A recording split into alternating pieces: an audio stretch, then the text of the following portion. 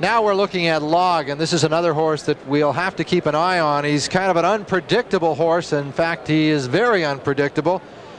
Really, in talking to Bill O'Donnell, who will drive him in this race, he says you just have to wait and see what kind of a mood he's in on any given night.